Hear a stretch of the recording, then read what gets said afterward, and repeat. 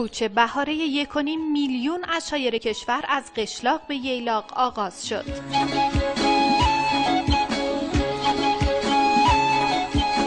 بعضی ها پیاده کوچ می کنند و بعضی ها با خود رو. چقدر تو راه هستی تا برید استان اصفهان؟ ما 50 روز تو راهیم. کوچمون الان ماشینیه. خیلی هم هستن به پیاده میرن اما خواب دیگه اکثرشون با ماشین.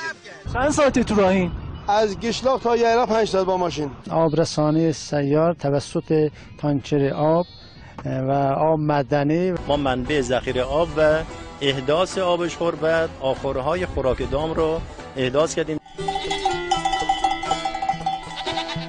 اشایر سالانه 180 هزار تن گوشت تولید می‌کنن که پیش بینی میشه امسال 40 هزار تن به ظرفیت تولید گوشت قرمز اضافه بشه. دارم الان گبه میبافم. و مدتش هم یک ماه طول می‌کشه تا بافته بشه. این غرفه باعث شده که گردشگرای زیادی رو به خودش جذب کنه. فروش ما هم خیلی خوبه راضی است. کشکمون درستی کنیم دوغمون پزدیم دوغمون ازدنیم روغنمون درستی کنیم. این کشک بازم شیش پونسده خیلی فروشش خوبه هم. کلا مای بشکا این چیزایی که ات بیرون است مال اشاره کلا اطراف گساران صبح مثلا که بیه صف میبندن روی ماست محلی کوچه بهاره با همه فراز و نشیبش تا اواخر اردیبهشت ادامه داره